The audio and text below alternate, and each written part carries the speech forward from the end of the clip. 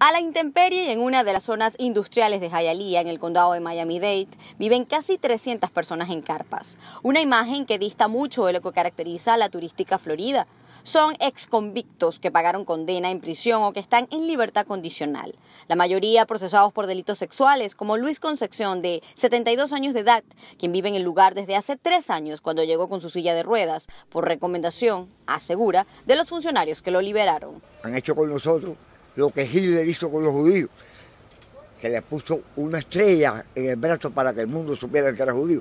A nosotros nos cogieron y no los manché, pero sí nos pusieron el ID. Dueños de comercios aledaños indican que la presencia de los campamentos los afecta. Tal es el caso de Roberto González, cuyo negocio de comida registra baja afluencia de clientes en la noche. No obstante, indica que pese a que estas personas son expresidiarias, ninguna hasta el momento ha cometido algún delito en contra de la comunidad. Los pongan en un lugar seguro y que no me afecte a mí, que no afecten a nadie.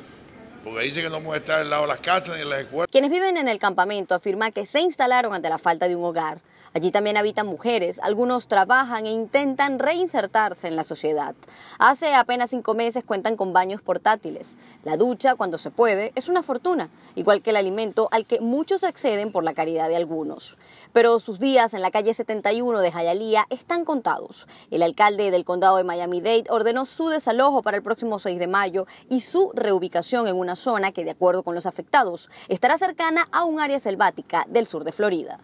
Las casi 300 personas que viven bajo estas condiciones infrahumanas les piden a las autoridades que pese a los errores que ellos han cometido en el pasado les den un trato digno que permita atender su situación actual. Desde Miami, Florida, María José Martínez, Noticiero Estrella TV.